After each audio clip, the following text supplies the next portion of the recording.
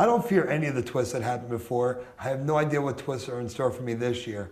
My entire life has always been expecting the unexpected. A twist of maybe bringing in somebody like from the past that was really tough on people. That might be a little bit scary. Uh, but you know what? The twists make it fun, keeps you on your toes. So I look forward to the twist. I don't, there's nothing I'm afraid of because I think I can get through it. But uh, I don't really like bullies, so I don't want somebody to come in and just bully people.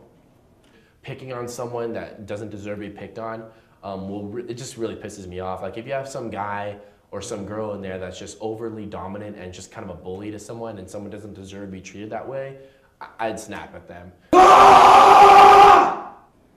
Oh, which house guest would I least like to see come in?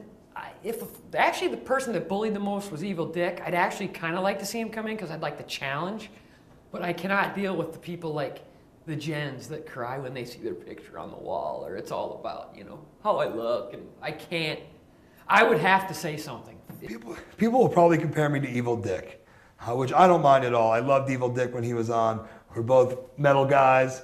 We're both a little loud and rambunctious in our own ways. Uh, mm, I, I wouldn't want to be compared to any house guest, but if, if I had to say whose gameplay was really good, uh, Evil Dick was a, you know, I, I don't know if I believe in everything he stands for, but his gameplay was like, you know, great. It was fierce. I mean, he was uh, a, a whiz. He ran the house and, and uh, you know, so I want to have that, that type of power. I want to be able to run the house and things like that, but I definitely want to, don't want to be uh, compared to anybody. that's, that, that's, I want to be me. Uh, I'd be offended if I if I was compared to the the harassing side of Evil Dick. He, he played pretty good though. I, I, I would give him credit for what he did. Um, Rachel, I'll have a heart attack and die right here. Throw up right on the screen. If they compare me to her, I will die. I'd be offended if I was compared to Rachel. She's like the most annoying person I've ever watched on TV.